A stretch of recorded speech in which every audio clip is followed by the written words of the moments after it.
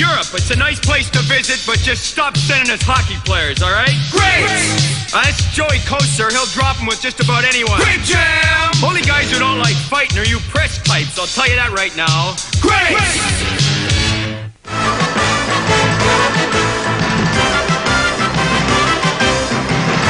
Well, this is the point at which Don usually goes first of all, before we go any further. Right. You know, okay, uh, So wait a minute, I'm not through yet. Well, ask me the questions. That's your job. Before we get started, I'll tell you something about this guy. Well, you know, I. Dopey. Whammo. This is only three minutes, eh? You know, people must wonder about what's going on. Let me just tell you, our friends, the Russians, five of them were in the playoffs. They played 23 games and they had no goals. But quite a few assists. 11. They had 11 assists. Who's That's- counting? I knew this guy would say that. 11 assists. Uh. 11 assists, and they took back their 6 million bucks. I have the microphone over here. Oh. Not to gamble with Slats Machine, according to Don Cherry in this installment of the Coach's Corner. It That brought all this on was the Brown thing, and it was stupid. He should never have done it. And a 2 2 tie with the referee standing there even made it worse. That shows you his mentality. But let's quit picking on hockey. It's not that bad. Well, Mats Naslund, I think, raised a Matt great point. Naslund, Here's of a- course he doesn't like the, the banging and the smashing. Why would he? He's only this high. But you know, there's a big bodies out there, 200, pou- 200 pounds, and you know, all you have to do is hit them. And when you hit them, you don't have to maim them, but hit them to hurt. I mean, nobody's afraid out there. That game tonight, Winnipeg, are you kidding me? They look like nothing either. Nobody hits anybody. Look like a tea party out there. Look, Swedes and Finns playing at December. Nothing, no hitting. Then you go down and you watch uh, Pittsburgh and Canadiens, wangle, wangle. That's hockey. There's no hitting. I don't. If a guy can't score, then they bring up guys that are supposed to be tough, and they bring guys tough and they lay on the ice and they don't fight. They don't do anything. I mean, hit or fight or do something. Toronto Maple Leafs have won four in a row at home and maybe on their way to a fifth. Wendell Clark is a better hockey player with half a back than most guys is with fullback. Most guys are. Wendell Oh. Clark uh, is a big goal for Wendell. Uh, clearly, he's now he's a bothered by this literary problem. giant here. Proper literary giant. important. You're setting an example to many young Canadians, and I think. uh, Yeah, well, I'm rich. be- I'm richer than you, and you can speak, right? So don't start telling me how to speak. I can count. So go ahead.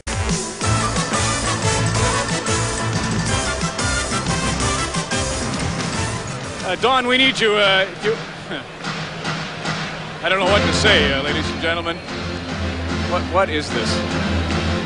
I've been out here a couple of days, and a couple of my friends, Sly and Arsenio, uh, let me borrow a few things. Yes. Uh, Bill Ranford's in goal. Don Cherry, in case you're wondering who it is. Well, uh, Billy uh, surely be in, and he'll stand on his head. Uh, because he, he's well rested and Grant needs a rest. I love the people out here. Look at them. Look at this floor director. The lovely people here. I love them. They're absolutely beautiful. They're gorgeous, well built, and, and the Yeah. way they walk. And that's just the guys, I'll tell you. I, what's this got to do with the game? You, I think you've had a little too much sun, Well, honestly. I, I'll tell you, you know, I'm out here and I, I've been reading the papers, and I, I can see how people say they really don't want fighting here, and I can see that. The hot weather, the the people, I can see why we shouldn't have hockey here uh, with fights. Yes, I can see that. Do you want to talk about any of the players Well, involved want in this classic? Yes, I want to first of all talk about uh, uh, Kelly Hrudey. Here comes Kelly right now. There's Kelly right. He's coming in right now, and and I love the little. We'll pick him up. I love the little blue string that hangs from the back. Don't you?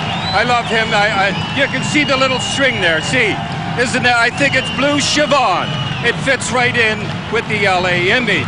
What's with the earring on the left side? Well, when it's on the left side, that means I'm available. And Good. not only that, hockey without violence is like a silver ballet. Who are you picking? I'm not picking let the best team win. Why keep score? Like you, this one could go either way, I guess. Let's go. Thing I don't understand. This is the Harry Neale and I were talking about this. We don't understand a thing. You see, taking it on on um, pardon me. Right, you don't understand a thing, but go ahead. Uh, You and Harry are talking. Sorry to throw you off, but it sounded like you were on the right track, and I just wanted to You'll maintain that I, flow. uh, no, go ahead. Feel we've free. told not to be stupid here, and you're acting stupid. Right. Okay. Here's this punchy. All right. Now just just Go let ahead. me. Yeah. Oh, thanks. Go ahead. All right. Give it your best Andy shot. Van Hellemond's watching me right now. Don Koharski's a good friend of mine, too. They're not watching you right now. They're in the middle of a playoff game. Andy Van Hellemond is in his room watching right now, and Koharski's not watching, but they're good friends of mine.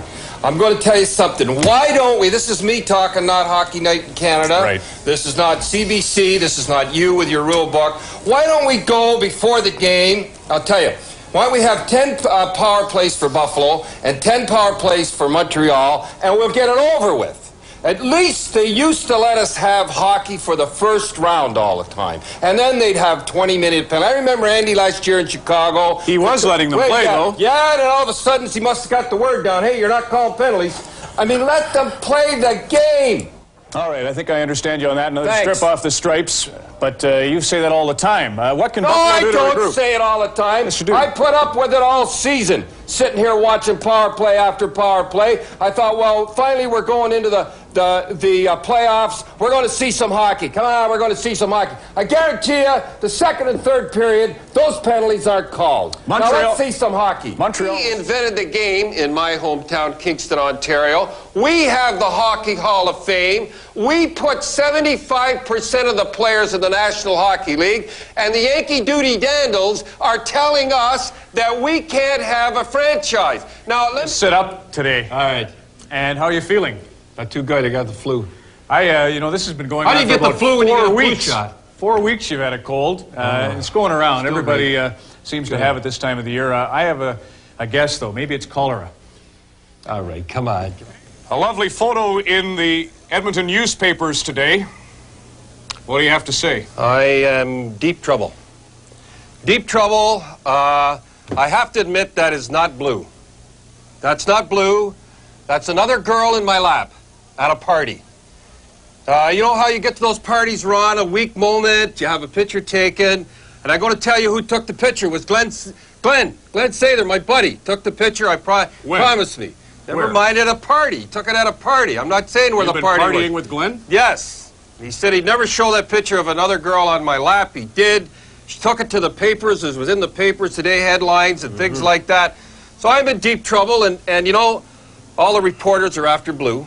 All the reporters are after Blue. Phone her in Mississauga. She- uh, I tried to phone and tell her about the girl and all that there. She hung up on me. Hung up on me and everything Heartbroken. like heartbroken over the whole thing. And Blue, I know you're watching in Mississauga right now. And I want to apologize. It was a weak moment, and that bitch didn't mean a thing to me. I'm a little surprised at you, I gotta say. I still love the Bruins. I, they'll bounce back. Harry will do something. I'll tell you, I love them so much, I still wear their shorts. Uh, no, you don't. I certainly do wear the shorts, and I'm going to show you. Watch this right here. Is that not the Boston Bruins shorts right there? Have you noticed my tie yet?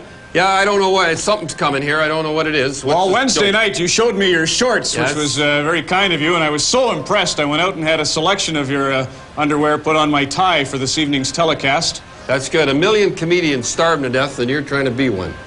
Yes, I obviously have your shorts in a knot. I refereed a game Tuesday. The Hamilton Kilty Bees put Yes. the sting on drug abuse, and they presented this to all of the fans.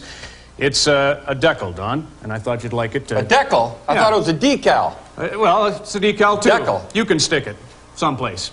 Don Cherry in the coach's corner on Molson Hockey Night in Canada on CBC.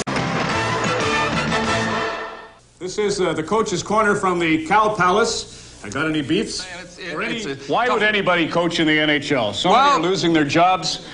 It's the same old story. Even these guys gone, it's ego. And I don't care what happens in the rest of their life, these guys will be known that they coached in the National Hockey League. It's something like you. When you go back in a couple of years to Red River, you can always know that you were on Coach's Corner at one time. Well, since you uh, bring this up, uh, I'll never think of you any way but uh, the way I thought of you a week or so ago on the sofa. I was almost in Princess Margaret with Tony with a ruptured bladder, having a nice Sunday lollygagging in front of the set.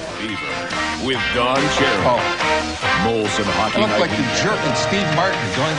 on CBC. How could you possibly? What did they pay you to do that? I, I never got paid a cent. I, you want to know what happened was I, they asked me and I say I can't do that, and then I thought I'd come out here with an earring. So Yeah. that's the result. Could be worse, Tony. You could have Saturday Night Fever. Ron MacLean with uh, Disco Don Cherry on Coach's Corner on Molson Hockey Night in Canada. You know, the first time that Don and I sat in this studio like this, he was just a rookie. He really was. You've done all right. Yeah. Keep at it. Do you, do, you, re- do you remember what I did? I remember the night of the big fight. No, but do you remember oh, what yeah. the first night I give you a kiss? Then there's Big- another one. See that? How many years apart? That's Don Cherry in the coach's corner. He even strapped my earpieces out here. He planned that. He planned that. I got to say something now. This isn't funny what I'm going to say, and you women are going to get mad at me out there. But I was standing out in the hall here in the first five minutes, and it was a tip shot. A guy tried to get it over the blue line, and a guy tipped it, and it come, come went over my head and hit this poor lady in the face. I'm telling you, when you come to the games, keep your eyes on the puck. And I'm telling you, I've seen some awful smacks, and it's always a woman yapping away there. Look at the game. can't- Lots of fans. What are you talking? Both genders on, get come on. involved in talking about the game. I agree I'm with you. just Nice tip. trying to help Look them. at the puck, but don't blame women, men, or anybody else for uh, getting in the odd What conversation when you pay uh, Wait a minute. to get a ticket to come to the forum. It's Look, an exciting I- opportunity for a lot of people. All right, ask some more questions. I'm trying to Last ask night- Now, uh, I've, has anybody ever seen Stevie Yzerman cheap shot it?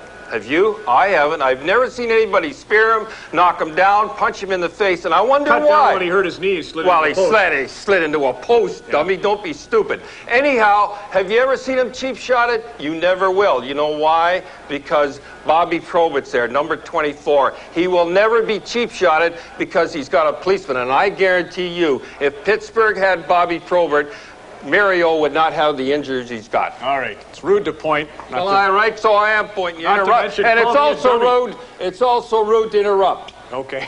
Just trying to keep things moving. Don't worry about me make keeping things moving. Little fisticuffs will help me cop another Coach of the Year, according to Don Cherry in this installment Right, of the goofy Coach's helmet. Corner. Nice. Governors and GMs had a tough time with realignment. We're out of time, but do you have any thoughts on that?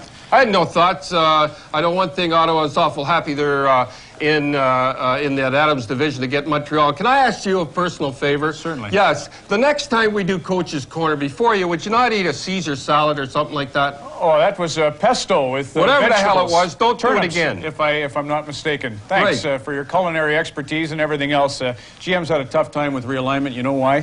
Why? Because uh, even mechanics will tell you it's tough to realign with the big wheels.